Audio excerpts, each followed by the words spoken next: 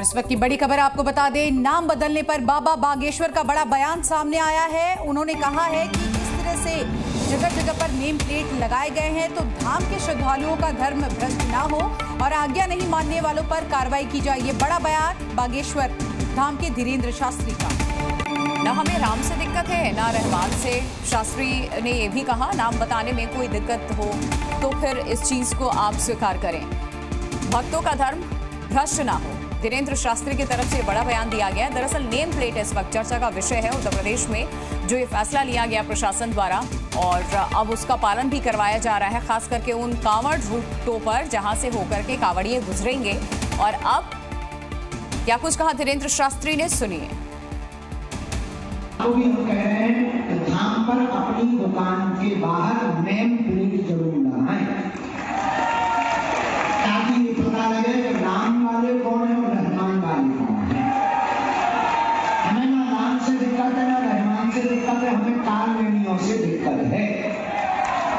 इसलिए नाम बताने में कोई दिक्कत नहीं है। आप जो हो, वो अपनी नेम प्लेट पर बाहर टांग दो, ताकि आने वाले श्रद्धालुओं का धर्म भ्रष्ट ना हो। ये हमारी आज्ञा है।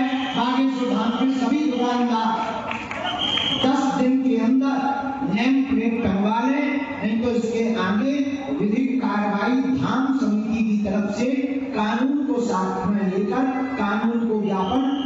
प्रशासन को ज्ञापन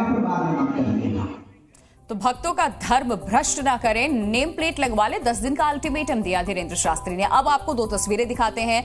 ये तस्वीर आपको हम दिखाने जो जा रहे हैं, वो पहली तस्वीर कांवड़ में नेम प्लेट की है और जो दूसरी तस्वीर हम आपको दिखाने जा रहे हैं, वो बाबा बागेश्वर धाम की है, जहाँ पीठाधीश्वर धीरेन्द्र शास्त्री ने दुकानदारों से नेम प्लेट लगाने को कहा। ये दो तस्वीरें उसी की है। तो कावड़ रूट पर नेम प्लेट लगाना होगा, दुकान चलानी है तो पहचान बताना होगा और योगी सरकार का ये बड़ा आदेश, जिसके बाद हमने देखा तमाम बीजेपी शासित राज्यों के जो मुख्यमंत्री हैं, उन्होंने इसका समर्थन किया। इन सबके बीच अब बागेश्वर धाम में भी नाम बताओ शुरू हो गया है और इसको लेकर आपने देखा किस तरह से धीरेन्द्र शास्त्री का ये बड़ा बयान सामने आया कि ना हमें राम से कोई दिक्कत है, ना ही रहमान से, लेकिन आपको अगर दुकान चलानी है तो अपना पहचान ज़रूर बताना होगा और नेम प्लेट अब आपको भी लगाने होंगे।